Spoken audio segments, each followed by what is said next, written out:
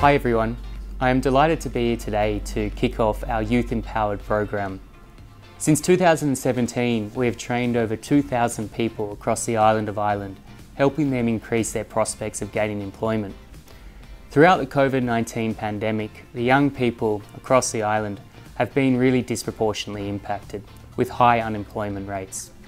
This program is designed to help them to regain employment by giving them the life skills that are necessary, helping them build resilience in this new world. As a result, we've changed our program to make sure it is relevant in this environment and we'll be offering a series of online webinars and courses to help train our young people.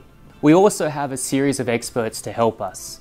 We have the actress Stefanie Preissner, we have international footballer Jack Byrne, we have the BWG HR manager Kathy Carney, and we also have a lot of our own CCH experts to help uh, young people. We have over 40 that are volunteering from, from CCH. We really encourage everyone to get behind the program, to, to get the voice out there. It's completely free and it's available at ie.coca-colahellenic.com.